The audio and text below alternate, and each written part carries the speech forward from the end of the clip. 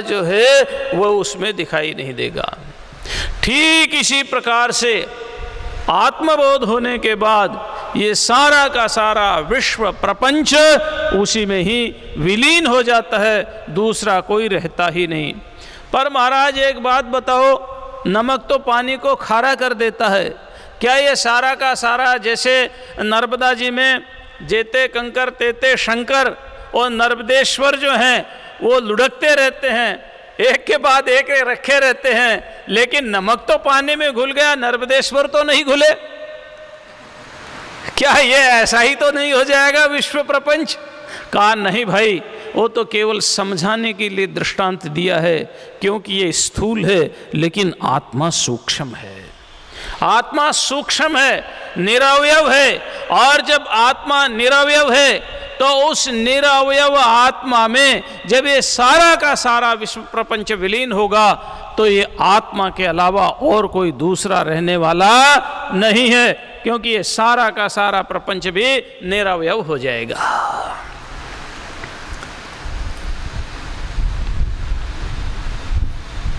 मांडू की कारिका में एक बहुत सुंदर बात की। महाराज जी चर्चा कर रहे थे। तो उन्होंने कहा, भाई, एक बात बताओ, ये संसार भगवान से प्रकट हुआ है तो सोने से बनी हुई अंगूठी सोने जैसी होती है तो ये भगवान से प्रकट होने वाला संसार भी तो भगवान जैसा ही होना चाहिए। नहीं, फिर इसमें घटना, बढ़ना, मरना, जन्म लेना, सुख दुख, ये परिणाम, ये सब क्यों हो रहा है? कोई जड़ है, कोई चेतन है, ऐसा क्यों हो रहा है? तो वहाँ पर कहा, देखो, बात ऐसी है, हो नहीं रहा,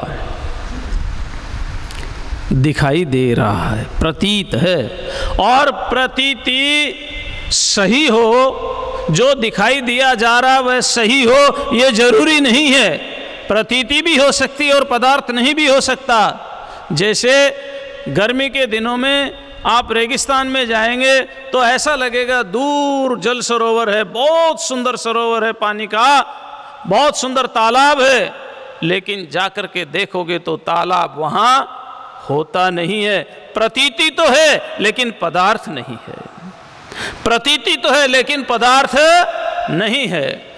हल्के अंधकार में अगर कहीं रस्सी पड़ी हो, साइकिल का ट्यूब पड़ा हो तो व्यक्ति एकदम चिमक जाता है, घबरा जाता है, पसीना आ जाता है, कहता है, सांप सांप की वहाँ प्रतीति तो हो रही है, लेकिन सांप वहाँ होता नहीं है।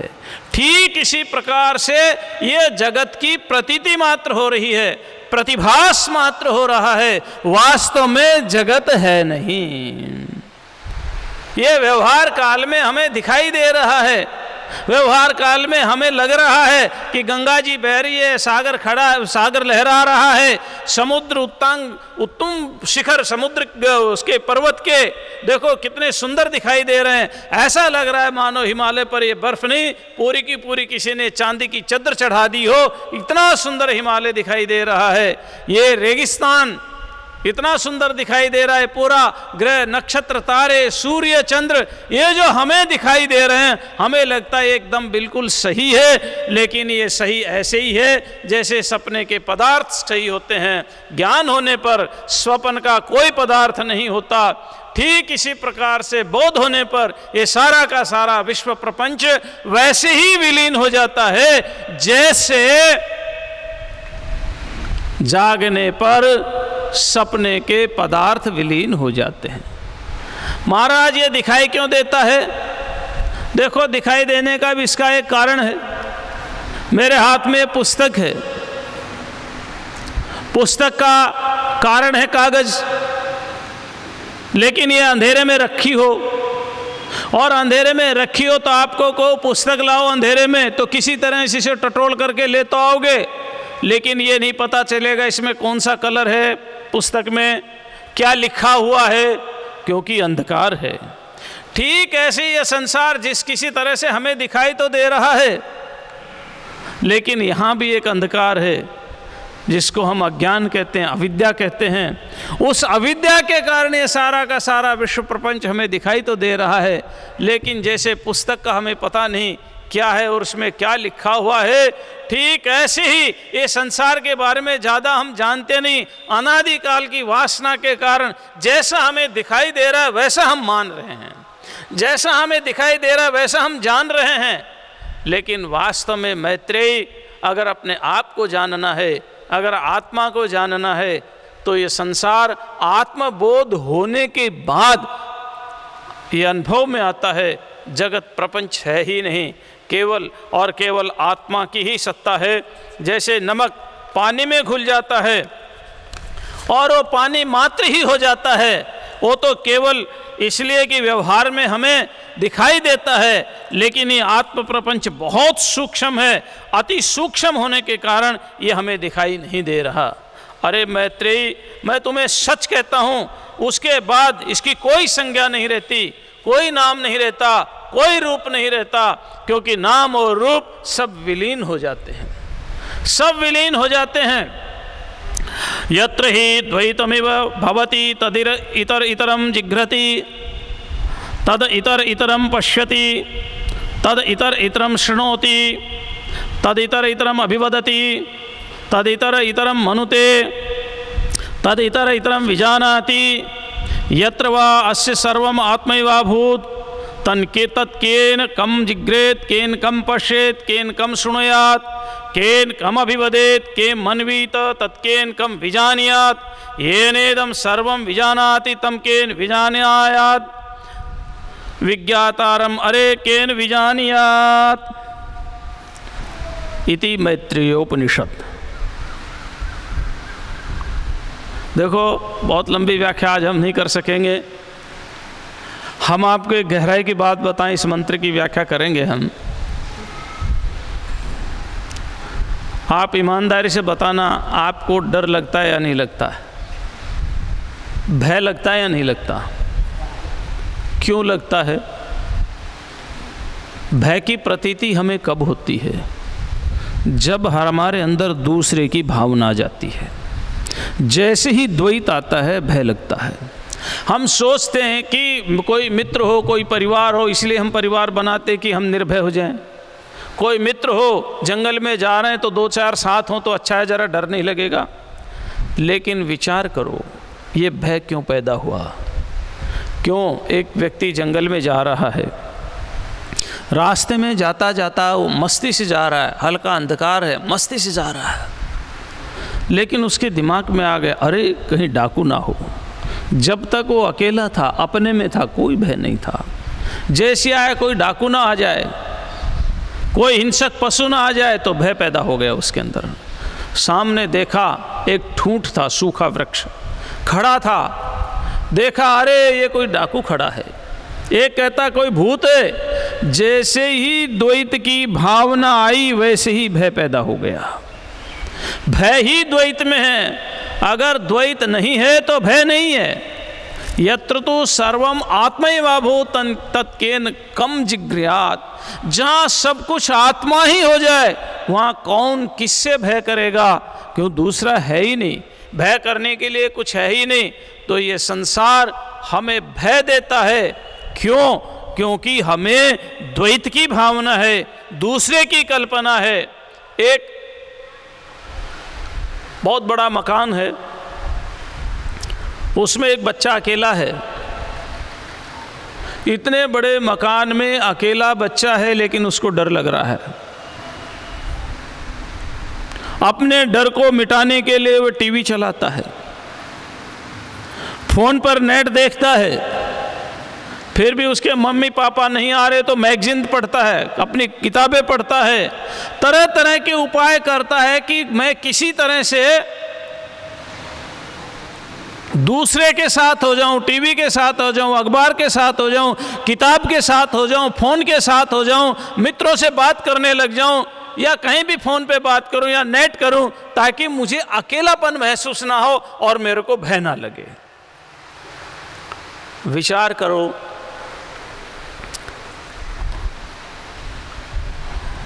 आप नाराज़ तो नहीं हो जाएँगे। किसी का विवाह हुआ, बहुत सुंदर पत्नी है। अब उसको भय वहीं लगा हुआ है, सुंदर पत्नी कहीं मुझे छोड़ करके। भय तो द्वैत में है ना, जब तक पत्नी नहीं थी, कोई भय नहीं था। किसी के पास बहुत ज़्यादा धन है। बताओ, उसको भय है या नहीं है? कहीं इनकम टैक्स वाले ने आ जाएँ कहीं चोर ना आ जाएँ, और कहीं पर वो हफ़्ता हफ़्ता वाले क्या कहते मालूम नहीं मुझे, क्योंकि हमारे पास तो अभी तक कोई आया नहीं, है ही नहीं तो लेके आएगा क्या? तो आश्रम में अकेले रहते हैं, आसमान के नीचे सोते हैं, कमरा सब खुला रहता है, मैं दो महीने से बाहर हूँ, कमरा खुला है, कुछ रखते ही नहीं, इसलिए हमें मालूम नहीं, वो अखबारों में पढ़ते हैं। हैं, उनका भय लगा रहता है। तरह तरह के भय लगे रहते हैं। जहाँ पर आप अपने से दूसरा होने की कल्पना करेंगे, अपने से दूसरे के लिए कल्पना करेंगे किसी भी रूप में, वहीं पर भय आएगा।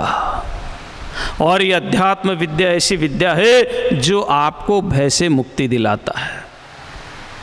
इसीलिए तो याज्ञवल्क ने कहा था अभयम वही जनक प्राप्तोसी रे जनक तू अभय को प्राप्त हो गया। अष्टावक्र ने भी कहा था, जनक को तू अभय है। क्यों? क्योंकि ये अध्यात्म विद्या अपने से अतिरिक्त और किसी दूसरे का बोध कराती ही नहीं। सब कुछ अपने ही अपने हैं, एक ही, एक एक ही रूप में सब कुछ दिखाई देता है। देखो, हम एक बात बताएँ, हम जो यहाँ आते हैं ना यहाँ हम कोई प्रवचन करने नहीं आते। हम जो यहाँ आते हम भी यहाँ आकर के अभय की प्राप्ति के लिए आते हैं।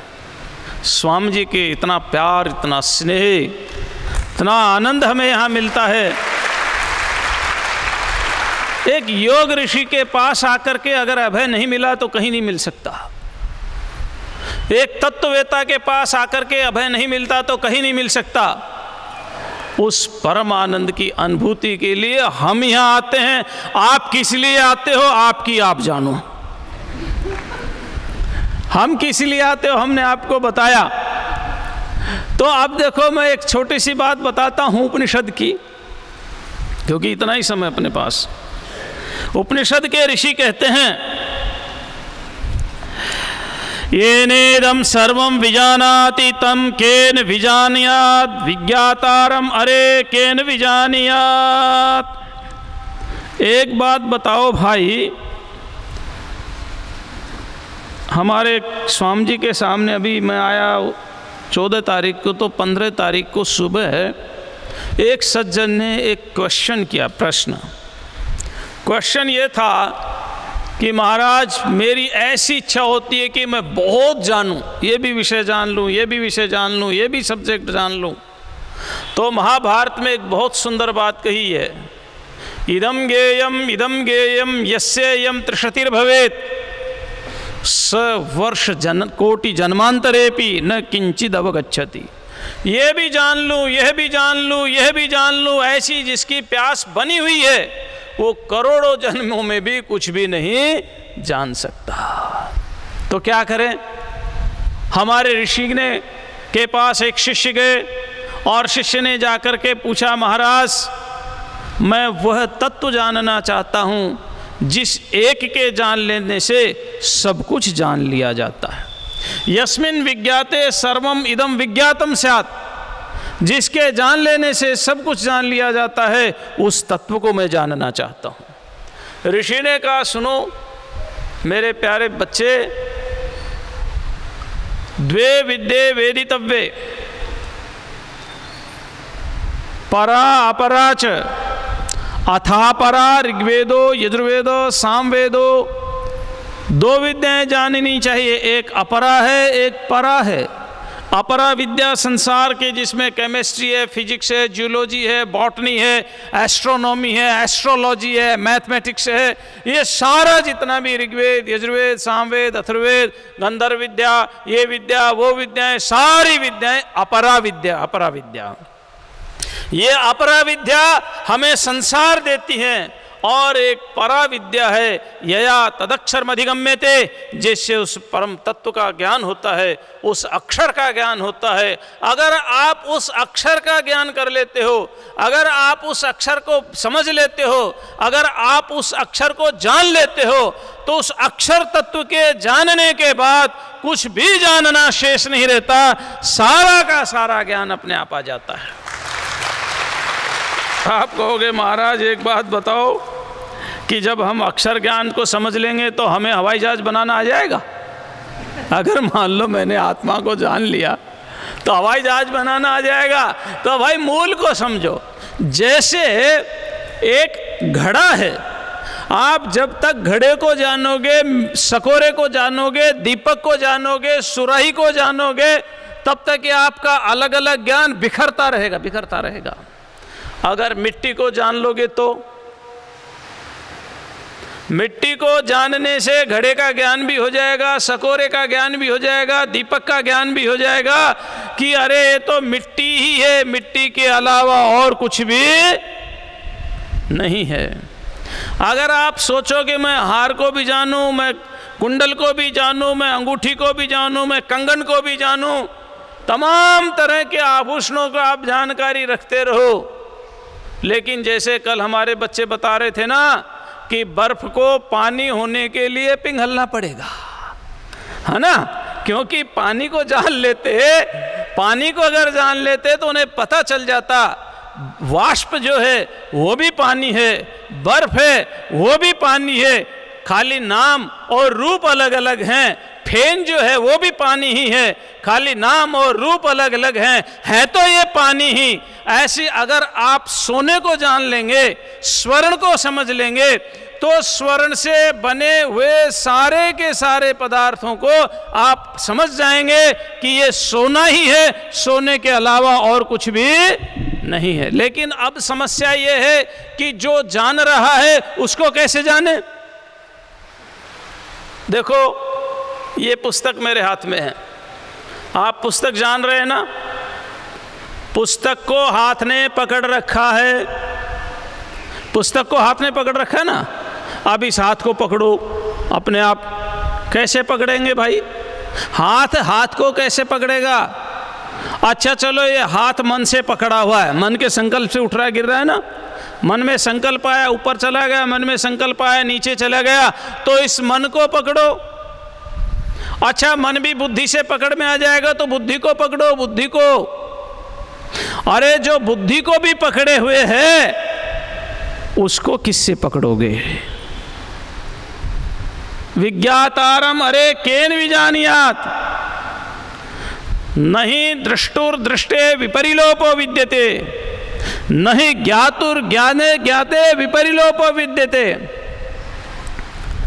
This drashta, a seer cannot be seen, and knower cannot be known. ज्ञाता को कैसे जानोगे दृष्टा को कैसे देखोगे किन नेत्रों से देखोगे किन आँखों से देखोगे किन इंस्ट्रूमेंट से देखोगे कैसे जानोगे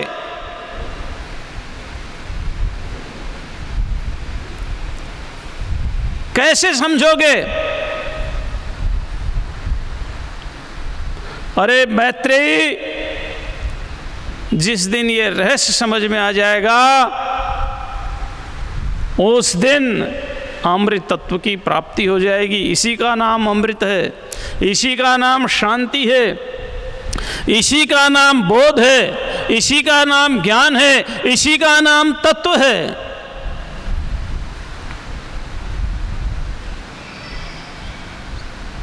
कि जो ज्ञाता है उसका ज्ञान कैसे हो? जो विज्ञाता है उसका विज्ञान कैसे हो? जिससे सब कुछ जाना जा रहा है, उसको हम कैसे जाने? बड़ा विचित्र है। अच्छा देखो, वेदांत की एक छोटी मोटी बातें हैं। हैं तो बहुत प्यारी। हम ये कहते हैं, एक है दृष्टा दृष्टा। और एक है साक्षी, दो शब्द हैं। एक है दृष्टा और एक है साक्षी। दृष्टा उसे कहते हैं जो दृश्य को देखता है। जैसे ये माइक दृश्य है, इसको देखने वाला दृष्टा आप सब दृश्य हैं, आप सबको देखने वाला दृष्टा आपकी दृष्टि से मैं दृश्य क्योंकि पंचभूतक शरीर दिखाई दे रहा है। दृश्य, गंगा जी दृश्य है, उसको देखने वाला दृष्टा जो भी दृश्य पदार्थ दिखाई दे रहे हैं, दृश्य पदार्थ की दृष्टि से मैं दृष्टा हूँ। समझना, दृश्य पदार्थ की दृष्टि से मैं दृष्टा हूँ। अगर ये दृश्य पदार्थ ना हो तो मैं दृष्टा रहूँगा क्या? अगर ये दृश्य पदार्थ ना हो तो मैं दृष्टा रहूँगा। मैं दृष्टा नहीं हूँ। दृष्टा की उपाधि को धारण किया हूँ दृश्य के कारण। दृष्टित्व मेरे अंदर सोपाधिक है। दृष्टापना मेरे अंदर सोपाधिक है। वो और वो है सोपाधिक है दृश्य के कारण। अगर ये सारा का सारा दृश्य नहीं होगा तो मैं भी दृष्टा नहीं रहूँगा। कोई बात नहीं, आखिरी दिन है। मेरा नहीं प्रवचन का।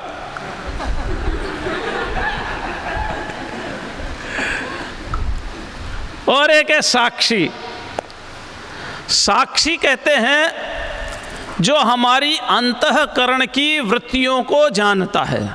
साक्ष। दृष्टा कहते हैं, जो बाहर के पदार्थों को देखता है और साक्षी कहते हैं जो अंतकरण की वृत्तियों को देखता है। सुख, दुख, मान हुआ, अपमान हुआ। महाराज, मेरे को बहुत अपमान हुआ। जरा दिखाओ तो कहाँ है? मन में अनुभव कर लो, अपमान हो गया। दिखा सकते नहीं। मेरे को बहुत सम्मान हुआ। कहाँ है? दिखाओ तो। बहुत सुख मिला मुझे, बहुत सुख मिला। जरा थोड़ा सा दिखा दो कैसा है।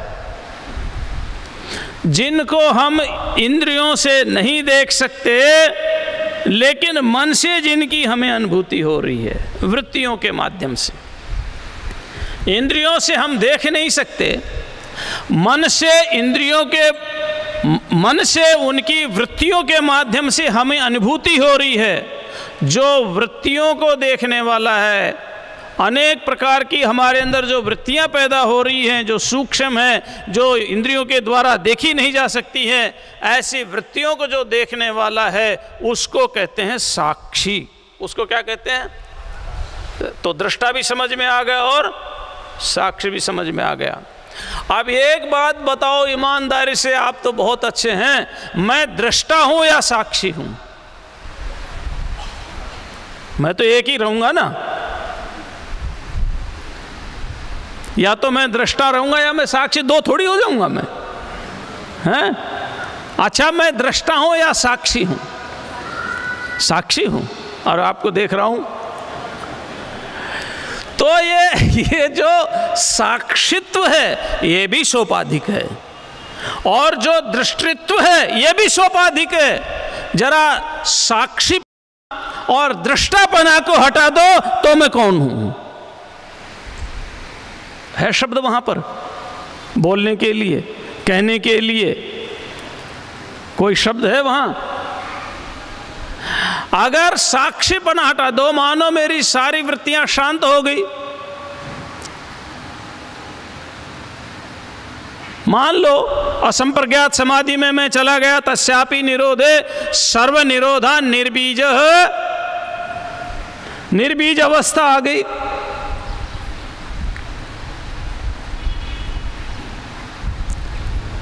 तो उस समय कोई या मैं गहरी निद्रा में हूँ, या मैं बेहोश की अवस्था में हूँ तो बेहोश की अवस्था में कोई वृत्ति नहीं होती। गहरी निद्रा में कोई वृत्ति नहीं होती। समाधि की स्थिति में कोई वृत्ति नहीं होती। उस समय मैं दृष्टा हूँ या साक्षी हूँ? अगर मैं दृष्टा भी नहीं, मैं साक्षी भी नहीं तो मैं कौन हूँ?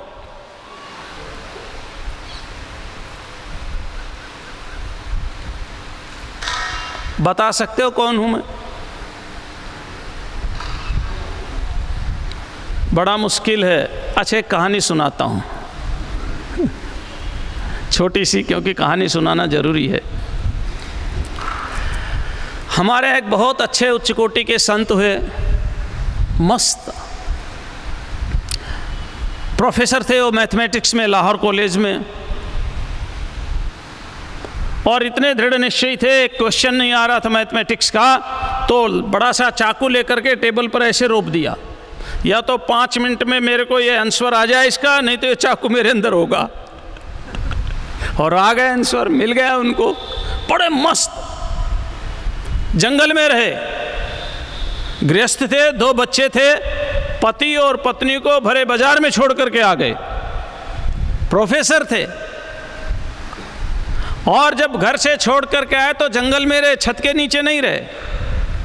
उनका नाम था स्वामी राम तीर्थ तीर्थ नाम उनका घर का नाम था। बाद में उनका नाम हो गया स्वामी राम तीर्थ तो स्वामी राम तीर्थ देश विदेश में प्रचार करके गंगा के तट पर इस समय तो नगर ख़त्म हो गया। भारत सरकार ने उस नगर को ख़त्म कर दिया, उजाड़ दिया। वहाँ पर बहुत बड़ी, बहुत बड़ा डैम बना दिया है। लगभग सत्तर अस्सी किलोमीटर नहर बन गई, गंगा जी की इतना भारी बना दिया। टिहरी नगर था, टिहरी। उत्तराखंड में, उत्तरकाशी से पहले, वो टिहरी में एक स्थान पर वहाँ रहने लगे। टिहरी नरेश प्रतिदिन उनके दर्शन करने के लिए आया करते थे। सत्संग हुआ करता था, जैसे हमारा आप पूज्य स्वामी जी के सत्संग करते हैं। और बड़ा आनंद आता आता है ना? हाँ। आप लोगों को तो याद है ना? अधुरम, मधुरम, वदनम, मधुरम, हसितम, मधुरम हाँ? सब कुछ मधुर है। स्वामी जी का तो देखना भी मधुर, हंसना भी मधुर, बोलना भी मधुर और नाचना भी मधुर और गाना भी मधुर। अच्छा इतना तो मधुर होगा डांटना। आज ही एक माता कह रही थी, बोले, गुरु की डांट, गुरु की चोट विद्या की पोट। पोट समझते ना गठरी। गुरु की चोट और विद्या की तो उनका डांटना भी मधुर, ऐसे। मधुर बड़े प्रेम रस से भरे हुए थे स्वामी राम तीर्थ जी। और आत्म तत्ववेता थे। एक दिन राजा ने कहा, स्वामी जी, आप प्रतिदिन भगवान से बात करते हैं हाँ करता हूँ। आप भगवान के पास जाते जाता हूँ। क्या आप भगवान से मेरी मुलाकात करा देंगे? मुझे भी भगवान से मिला देंगे? हाँ मिला दूँगा। क्या दिक्कत है उसमें? तो बोले क्या कब स्वामी राम तीर्थ ने कहा, तुमसे यदि कोई मिलने के लिए आए तो क्या प्रक्रिया है? बोले, महाराज, एक प्रार्थना पत्र देना होता है। वो प्रार्थना पत्र कार्यालय में जाएगा। कार्यालय से फिर धीरे धीरे धीरे मेरे पास पहुंचेगा। मेरी इच्छा होगी तो मिलूँगा, नहीं तो मैं मना कर दूँगा। तो कहने लगे, ठीक, यही प्रक्रिया परमात्मा से मिलने की भी है। तुम अपना प्रार्थना पत्र दो, एप्लीकेशन दो। राजा ने बढ़िया सोने की पेन मंगवाई, कलम मंगवाई, उस समय कलम चलते थे। होल्डर बोलते थे, सोने के होल्डर मंगवाया, कलम मंगवाया, भोजपत्र मंगवाया, और उसके ऊपर सुंदर प्रार्थना लिख करके और दे दिया। स्वामी जी ने तके के नीचे रख लिया, सत्संग होता रहा। कई दिन हो गए सत्संग करते करते एक दिन स्वामी जी ने पूछा, महाराज क्या भगवान के पास मेरा प्रार्थना पत्र पहुँचा? स्वामी जी ने हाँ कहा, पहुँच तो गया, लेकिन भगवान ने कहा है कि उसका एड्रेस गलत है। राजा कहने लगे, महाराज, ऐसा नहीं हो सकता। अगर मान लो लिखा भी गलत गया होगा तो मैं तो राजा हूँ, नरेश हूँ। कहीं से भी पता कर लेते तो पता मेरा चल जाता। मुझे दिखाओ एक बार। दिखाया। बोले, महाराज, एड्रेस सही है। उन्होंने कहा, लाओ, मेरे को दो दिखाया, बोले, देखो, ये नाम क्या है? बोले, मानवेंद्र प्रताप सिंह। स्वामी जी ने कहा, ये तुम्हारा नाम है या तुम्हारे शरीर का नाम है? ये तो देवेंद्र भी हो सकता था, राजेंद्र भी हो सकता था, कोई भी नाम हो सकता था। ये नाम से नहीं, ये बताओ, तुम्हारा नाम क्या है? जो तुम नाम बता रहे हो तो इस देह का नाम बता रहे हो भाई। और ये देह का तो कोई भी नाम रखा जा सकता था। कोई भी नाम रखा जा सकता था। हमारे स्वामी जी तो यहाँ जितने भी आने वाले साधक है, सबका एक और नाम दे देते हैं।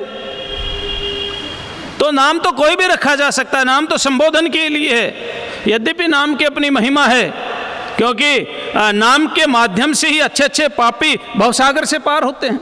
लेकिन नाम तो शरीर का है। स्वामी जी ने कहा, तुम अपना नाम लिखो, तुम्हारा नाम क्या है? उन्होंने कहा, देखो, तुमने अपनी हाइट नहीं लिखी। राजा ने कहा, महाराज, लिख रखी है, छह फुट दो इंच। उन्होंने कहा, ये तेरी हाइट या तेरे शरीर की हाइट है? सत्संग हो चुका था। आँखों में आँखें मिली हुई थी, राजा की आँखें, स्वामी जी की आँखों से और स्वामी जी की आँखें, राजा की आँखों से टकराई हुई थी। कहा, ये तुम्हारा शरीर की हाइट है, या तुम्हारी हाइट है। तुम अपनी हाइट लिखो। अच्छा हम आपसे पूछते हैं, आप अपना वज़न बताएँगे कितना है? शरीर का नहीं बताना। रोज कहते हो, मैं मैं मैं ऐसा कर दूँगा, मैं ऐसा कर दूँगा, मैं इसको मार दूँगा, मैं इतना कमा लूँगा, इदम गेयम, इदम देयम, ये कर दूँगा, वो कर दूँगा। अरे, तू अपना वज़न तो बता कितना है। स्वामी जी ने कहा, इसमें रूप नहीं लिखा, तुम्हारा रूप क्या है? कोई रूप बता दो अपना। तुम काले हो, गोरे हो, कैसे हो, कोई रूप होगा। स्वामी जी ने कहा, इसमें तुम्हें कोई पहचान भी नहीं लिखी। मान लो तुम रास्ते में ही मिल गए भगवान से तो कैसे पहचानेंगे? तुम्हारे, तुम्हारी कोई पहचान है? राजा अंदर की गहराई में जाता रहा। और स्वामी जी नज़रों ने नज़रों से मुलाकात कर ली, रहे खामोश दोनों मगर बात कर ली।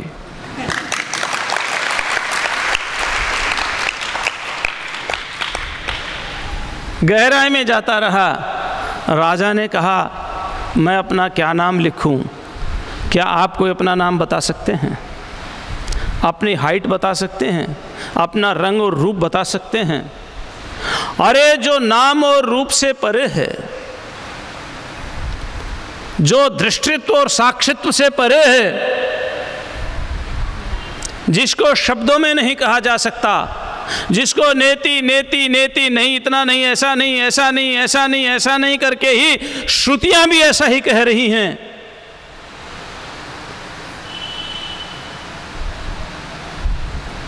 जिसके लिए कहा गया है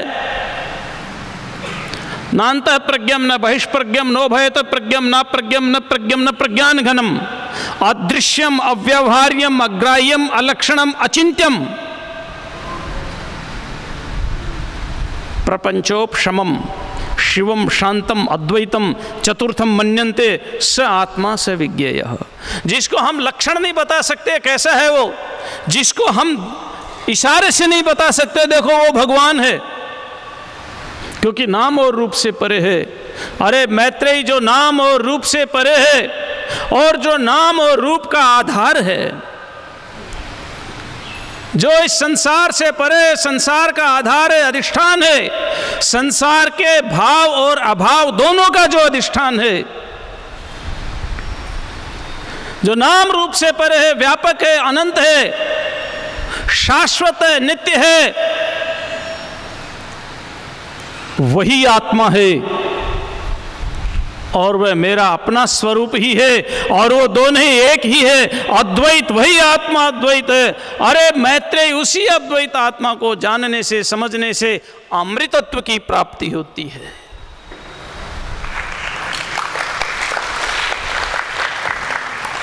याज्ञवल्क ने मैत्री को उपदेश दिया, और उसके बाद याज्ञवल्क ने क्या किया? जो प्रतिज्ञा की थी वही किया। क्या प्रतिज्ञा की थी? उद्यासन व अरे अहम अस्मात् स्थानात। मैं इस स्थान से जाना चाहता हूँ प्रवृज्ञा लेना चाहता हूँ। मैत्रेय की समझ में आत्म तत्व आ गया, आपकी समझ में भी आया होगा। और याज्ञवल्क संन्यास लेने के लिए चले गए। ये वो आत्म तत्व है जहाँ भय नहीं, अमृत है शाश्वत है, नित्य आनंद है अजर है, अमर है, अविनाशी है, शुद्ध है, चैतन्य है, प्रज्ञान घन है, प्रज्ञप्ति मात्र है, प्रज्ञप्ति मात्र है। जिनको शब्दों से कहा नहीं जा सकता, जो नाम और रूप से परे है, नाम और रूप का आधार है, जो संपूर्ण विश्व से परे है, विश्व का आधार है, जो प्रपंचोपशमम है, लेकिन प्रपंच का आधार है, भाव और अभाव दोनों का जो भाव का भी आधाधिष्ठान है, अभाव का भी अधिष्ठान है, ऐसे सर्वाधिष्ठान, अद्वय सच्चिदानंदानंद घन जो ब्रह्म है, जो वही आत्मा है और उसी आत्मा को अपने वास्तविक स्वरूप से जानने से अमृत की प्राप्ति होती है, शाश्वत शांति मिलती है, अमरता की प्राप्ति होती है। आप सब के दर्शन करने से हमें बहुत अच्छा लगा। माँ गंगा जी का तट आहा हा हा जिसकी गोदी में रह कर के हमने अष्टाध्याय याद की, जिसकी गोदी में रह कर के हमने उपनिषदों का अध्ययन किया, जिसकी गोदी में बैठ कर के हमने वेद और वेदांग का अध्ययन किया, गंगोत्री में रहते हुए, ऋषिकेश रहते हुए, हरिद्वार रहते हुए आज उसी माँ भगवती भागीरथी के पावन तट पर बैठ कर के हम याज्ञल्क और मैत्री संवाद सुन रहे हैं। इससे बड़ा और हमारा सौभाग्य नहीं हो सकता। से बड़ा संभव सौभाग्य नहीं हो सकता। गंगोत्री में रह कर के जिन ब्रह्मवेताओं ब्रह्म ऋषियों का सानिध्य प्राप्त हुआ, उनकी कृपा प्राप्त हुई। ठीक ऐसे ही यहाँ पर भी पूज्य स्वामी निरंजन आनंद सरस्वती जी महाराज जैसे योग, योगेश्वर की सन्निधि हमें प्राप्त है। क्या इससे बड़ा हमारा सौभाग्य होगा?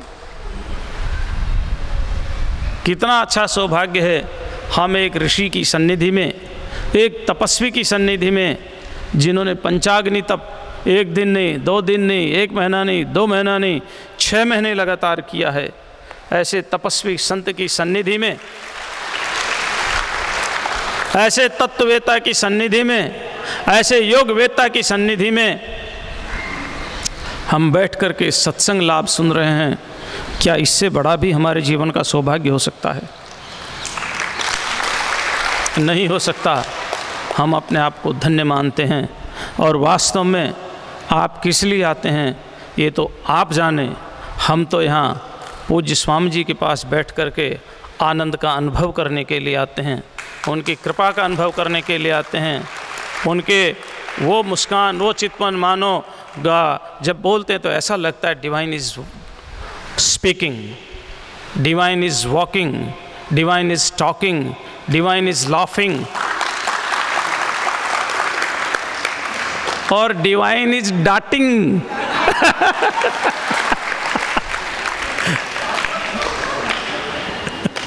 ऐसे ऐसे संत की सन्निधि में मैं बस बहुत अधिक नहीं आप सबका बहुत बहुत आभार, क्योंकि आप सुनने नहीं आते तो मैं किसको सुनाता? है?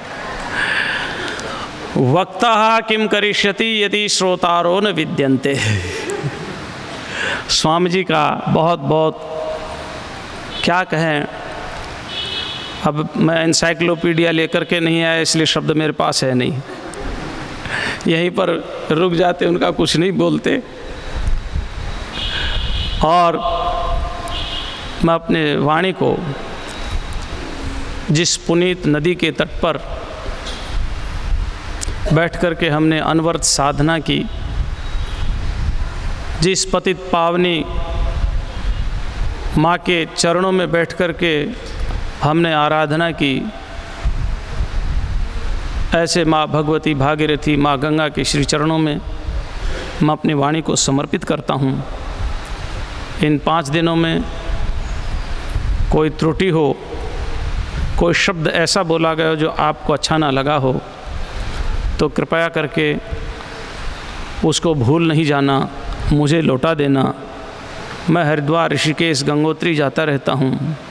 फिर माँ भगवती गंगा में डुबकी लगाऊँगा, उनको पवित्र करूँगा।